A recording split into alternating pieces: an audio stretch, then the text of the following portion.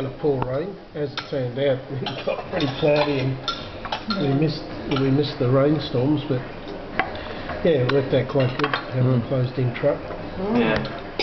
Yeah, I was scared. I was like, oh no, it's going to rain, but it'll fine. it's going to rain. It'll take. Oh, she, she hasn't really set up much at her house. It's very, very bare. So it'll take two trips.